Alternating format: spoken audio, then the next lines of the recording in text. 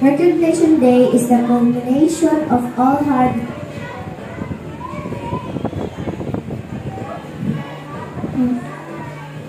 Recognition Day is the culmination of all hard work and year of study. It is the day when students can say, I've done it. It is an important milestone in your life and today we gather and celebrate success. To our dear parents and classmates and to our teacher, a pleasant afternoon. Each recognition day is not an end, but a new beginning. A time where we reap what we have planted throughout the year. We harvest the fruit of our hardships, struggles, and faith. They say losing is not always a defeat, and winning is not always a victory.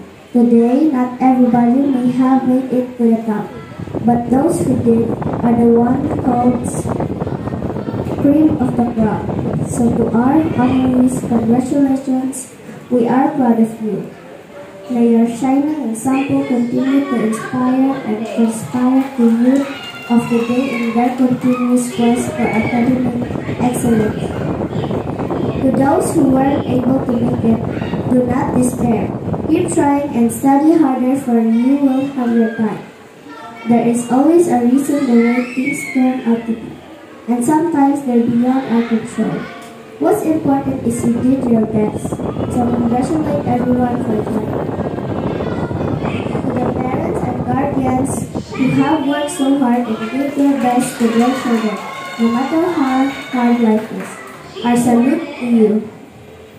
And to our teacher, Ma'am Charity M. Fernandez, who have done tremendous task. A job well done. On behalf of the grade 3 Luneta class, I welcome you all to this momentous event. Good day, everyone. Thank you, gracious.